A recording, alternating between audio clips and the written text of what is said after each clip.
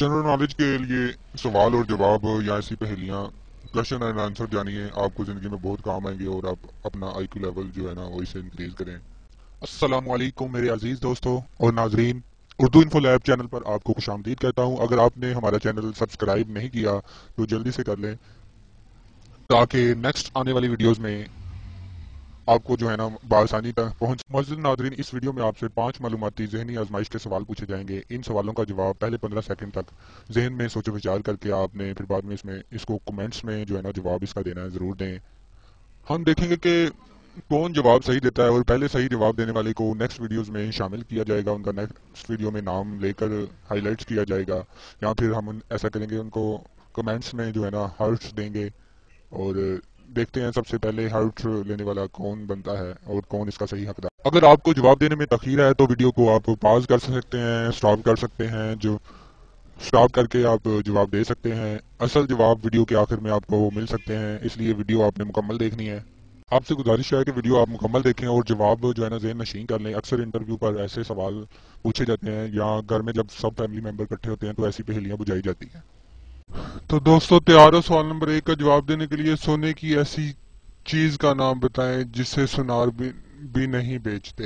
جلدی سے جواب ہمیں کمنٹس باکس میں لکھیں۔ آپ سے گزارش ہے ہمارے سوالوں کو کا جواب دیا کریں ویڈیو شیئر کیا کریں دوستوں سے بھی یہ سوال پوچھا کریں۔ سوال نمبر دو ہے ایک ٹرک ڈرائیور سڑک پر الٹا چل رہا تھا لیکن چلان آفیسر نے پھر بھی اس کا چلان نہیں کیا۔ کیوں؟ آخر کیوں؟ کیا وجہ ہو سکتی ہے؟ آپ نے مجھے یہ وجہ بتانی ہے۔ ٹھیک ہے۔ دونوں سوالوں کے جواب دے دیا تو تیسرا سوال آپ سے یہ ہے۔ ایک درخت پر پانچ کبوتر بیٹھے تھے۔ شکاری نے گولی چلائی تو ایک گر گیا اور باقی کتنے درخت پر بیٹھے ہوں گے؟ یہ آپ نے ذرا کامن سینس سے اپنی سوچ کے نا یہ سوال کا جواب دینا ہے۔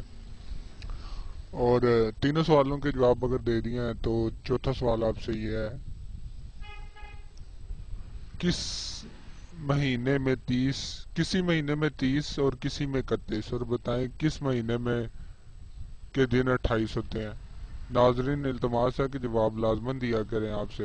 آپ، اس سے آپ کے نا نالج میں اضافہ ہوگا۔ پانچواں سوال آپ سے یہ ہے اگر اسد کا مرغا ذیشان کے گھر جا کر انڈا دیتا ہے تو اس کا صحیح حقدار کون ہوگا؟ دیکھتے ہیں۔ آپ کی کامن سینس کہاں تک کام کرتی ہے؟ آپ ہمیں جواب اچھے اچھے دیا کریں۔